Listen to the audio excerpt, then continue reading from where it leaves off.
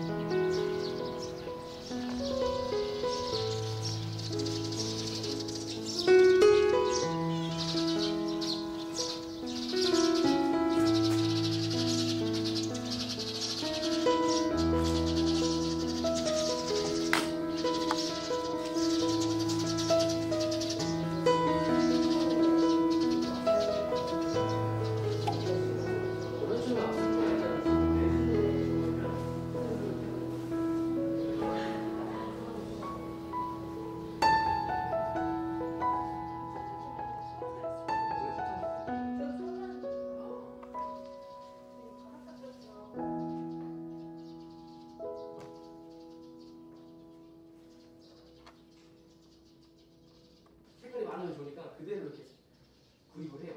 그렇게 갖고 와서 처음에 가위로 다 잘랐는데 이게 막 되게